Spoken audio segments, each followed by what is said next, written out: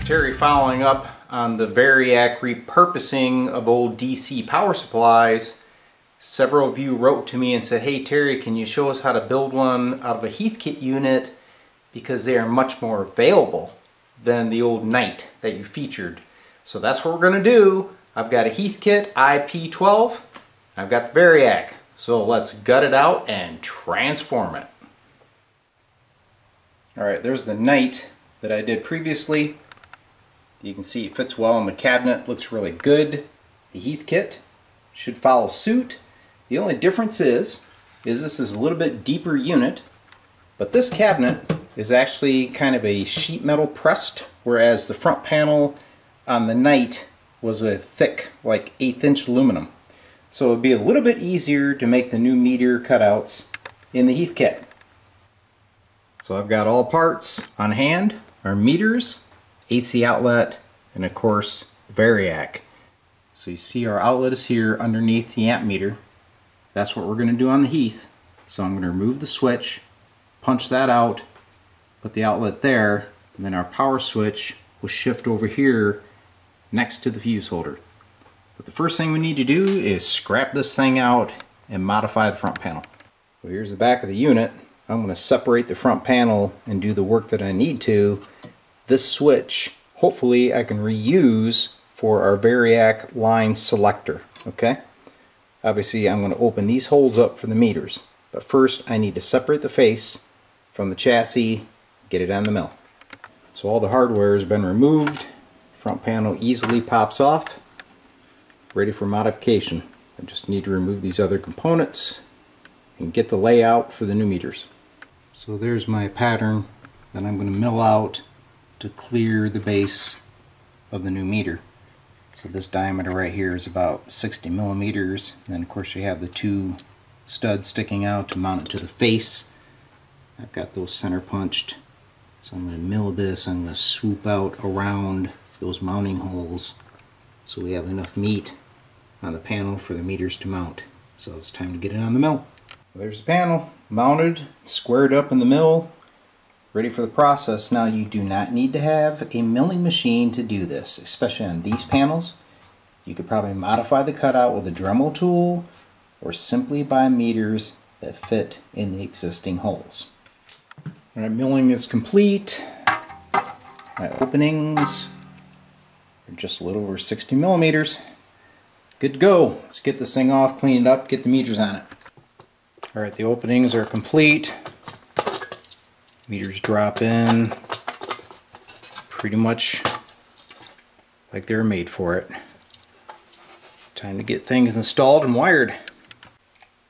Alright, remember I told you we're going to install the AC outlet here where the power switch used to be. So I have a Greenlee inch and a half punch. Just going to put it right on through there.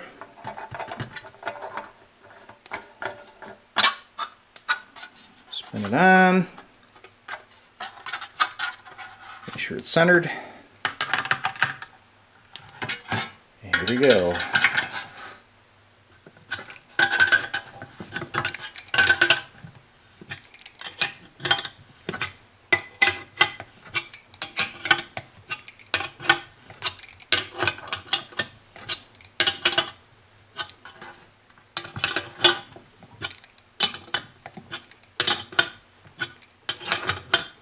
Where I work, we have a hydraulic Greenlee punch, so you don't have to sit there with a wrench.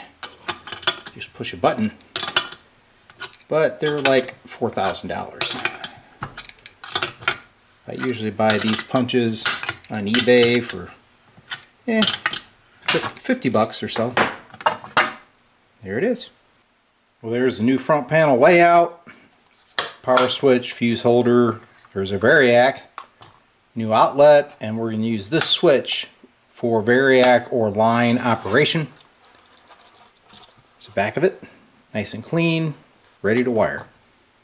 So I'm getting ready to wire up the new variac and I'm looking at this one, I'm looking at a new one, I'm like what's missing?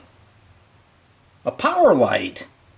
So one thing I really like about the design of the Knight is when this power jewel's on it actually illuminates the meters. Really has a nice look to it. So that's what we're going to do over here. I'm not going to add a jewel. I'm just going to put an internal light that will illuminate the meters and then you'll know it's on. Alright, the Variac is ready to be tested. I want to point out that I did not utilize the chassis. Okay, the chassis is just a bunch of weight and clutter that is not necessary because everything on our new Variac mounts right on the front panel. So wiring of the Heathkit IP12 to the Variac is complete. Now somebody asked in the last video about the details of the AC line wiring. Well there it is. It goes right to the AC socket except for the hot lead which runs over here to the switch and the fuse holder.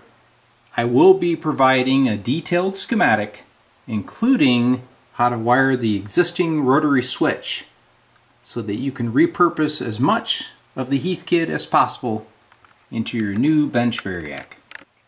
I got the front panel reinstalled into the cabinet. Now since the original chassis used to have a rear mount that pulled the face towards the back with some sheet metal screws, now the front panel has to be mounted differently to the cabinet. So what I plan on doing is drilling the edge of the cabinet and putting in some sheet metal screws. I'll show that at the end of the video, but now it's time to test the Variac. Here we go, test time. Got the Variac powered up. We are in Variac mode. So you can actually control your AC output. In this case I got a light bulb simulating that. Then if you go to line, it's full power. And you can see your current reading over here on the other meter. Working great. So to hold the face onto the cabinet, since that chassis is missing, I'm going to drill some holes here in the sides and add some little sheet metal screws. There she is, secure in the cabinet. Just two sheet metal screws on each side. This thing is super lightweight. A great addition for your test bench. Well, there they are, side by side. Started out with a Knight. Now I moved over to a Heathkit IP12. Configuration inside is the same, cosmetics are slightly different, but man, what a great instrument for your bench. So here is the schematic diagram that I promised you.